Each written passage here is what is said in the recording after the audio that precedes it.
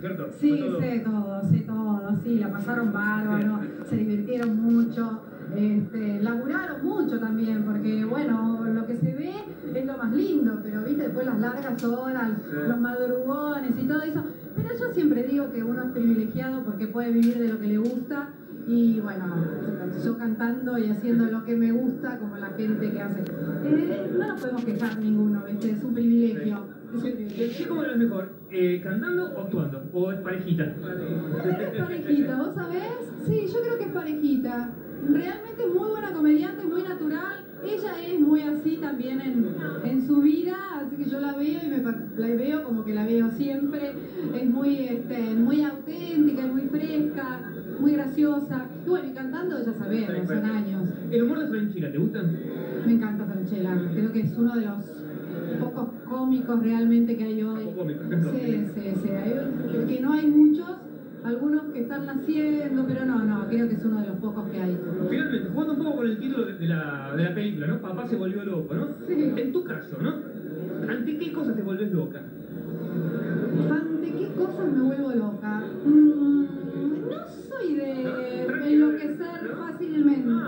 Eh, generalmente soy muy tranqui. Ahora cuando me saco, agarrate Catalina. Bueno, Te cambio la Pero- pregunta, ¿ante qué cosas te sacás, por ejemplo? Me saco cuando tengo demasiada pacien- paciencia por algo, no sé qué en este momento no, no te puedo decir porque no me acuerdo. Y bueno, y después este, de advertir o de decir o de informar que determinada cosa me molesta, me hinché y cuando me hinché agarrate. Agarrate porque ahí no tengo... te- No Sí, te te retorno. voy a contar algo con mi vecina de arriba. que tiene un hidromasaje mal colocado. Y entonces ya la mira me acuerdo viste que hay algo que me acuerdo. Y entonces ya es la quinta vez que tuve problemas con agua que caía en mi vestidor. Y ya viste le pedí mil veces de buena manera. Y entonces ahora ya le mandé carta documento. Eso ya me sacó ves eso me volvió loca. Me volvió loca un día que tuve que subir tres veces a decirle hermana cerrá el agua porque me vas a ahogar No, eso me sacó Mire, La próxima avisarnos si este, vamos a una nota, digo, por ¿no? favor por favor Cambiamos el ángulo, pasamos del espectáculo a la denuncia social. Pero esas cosas me hinchan, ¿viste? Cuando vos una cosa decís, mira, por favor, porque yo soy de pedir varias veces y de buena manera. Entonces cuando me agoto, ya me agoto, te mando carta, me agoto. Bueno, ojalá te veamos pronto arriba del escenario y nosotros ahí abajo filmándote. Bueno, pueden ir a La Pampa el 25, o pueden ir a, que es un casino, pueden ir el 11 a Malardo Mendoza, que también estoy en una fiesta. Así que bueno, pero por cerca, sí, gracias a Dios. Bueno, gracias. Bueno, no, por favor, a ustedes. ¿Qué, qué expectativa para esta noche? ¿Qué? ¿Qué expectativa para esta noche? Perdón, eh, perdón. ¿Qué? ¿Qué expectativa pongo para esta noche? Sí, muy contento, la verdad.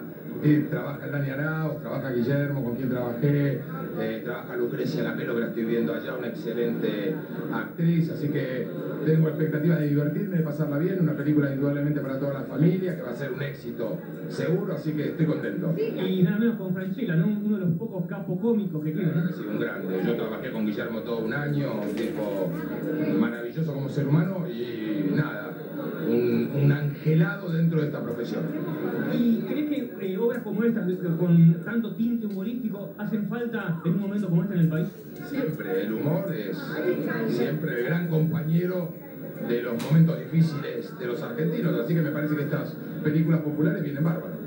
Finalmente, eh, jugando un poco con el, título- el título de, de la obra, ¿no? De la película, eh, Papá se volvió loco. En tu caso, ¿qué cosas te vuelven loco?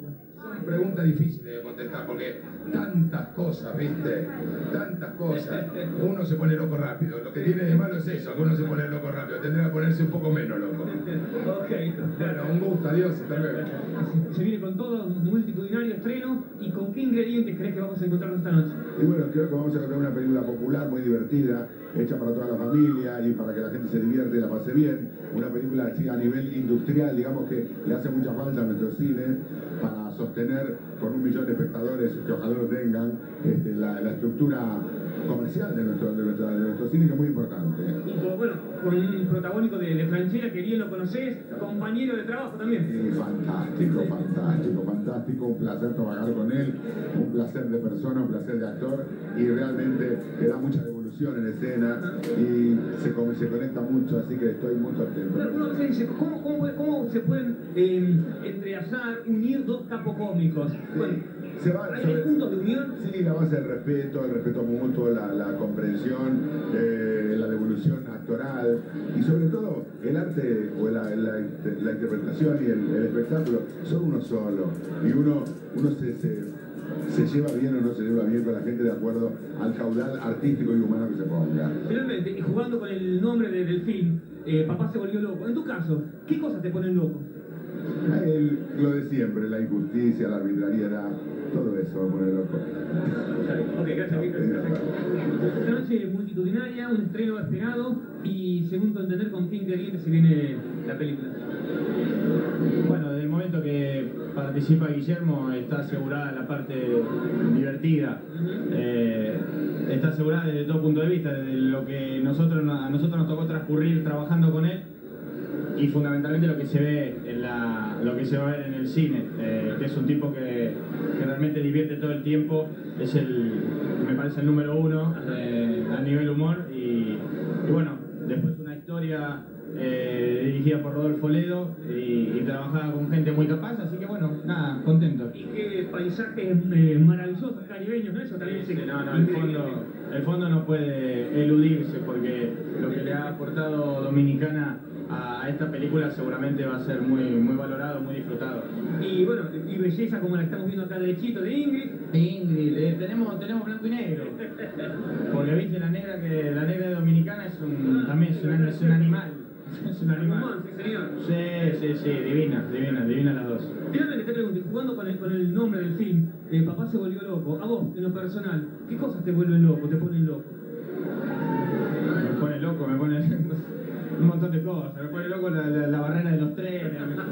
Esa es clásica. Ah, me pone loco un, un policía que te para para pedirte cualquier pavada mientras eh, los chorros le caminan por el costado. Bueno, hay un montón de cosas que, que- que- que me ponen loco, como me imagino que a cualquiera. Tampoco soy demasiado original en las cosas que te estoy diciendo.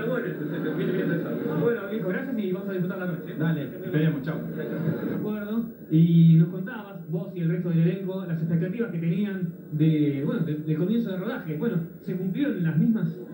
Sí, absolutamente. Y más, yo creo que ha sido una película que nosotros particularmente yo quiero muchísimo porque es una película que me permitió compartir momentos hermosos con Guillermo Franchella, con Lucía Galán, con Ingrid Klurke, con Yajira Guzmán, con Lucrecia Capello, toda- todos los actores que participan de esta película, este, con la dirección de Rodolfo Ledo que realmente armó una película con muchísimos gags y para divertirse y familiar. Estoy muy orgulloso de estar en un proyecto de cine para toda la familia. O sea- Poder venir con mi hijo a verla, ¿no? Qué bueno. O sea que hubo comunión entre los distintos integrantes. Eh, bueno, el, el, el, el guion, bueno, ya lo vamos a ver, es espectacular. Y yo le agregaría una tercera cosa, ¿no? Eh, los paradisíacos eh, lugares caribeños. Caribeños, hermosos, ese mar que entramos una vuelta, los cuatro con don, don Luis Alberto Escalela y Carlos Mentati, Guille, y yo de la mano al mar, y la gente que estaba ahí nos miraba como diciendo, uy, hermoso, hemos vivido momentos hermosos, y ustedes verán la película y nosotros también recordaremos aquellos momentos tan especiales y tan bonitos. Finalmente, porque está por comenzar, eh, para venderla, ¿no? Venderla, digo, entre comillas, por un propio protagonista, ¿no? Eh, ¿Por qué la gente tiene que ve- venir a ver Papá se volvió loco? ¿Quién se va a encontrar? Porque es la última película de Guillermo Franchella, que es un actor eh, extraordinario. Pues es una película para toda la familia y el cine nacional está esperando una película para toda la familia, así que. eh, y porque se va a reír mucho, se va a divertir mucho. Compra, ¿cómo que dice? Compra, compra. Bueno.